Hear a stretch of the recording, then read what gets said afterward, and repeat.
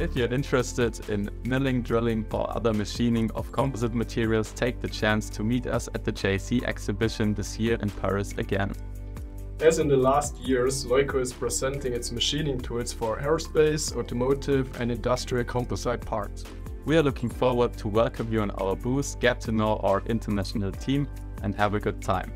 Stay tuned, don't miss the chance.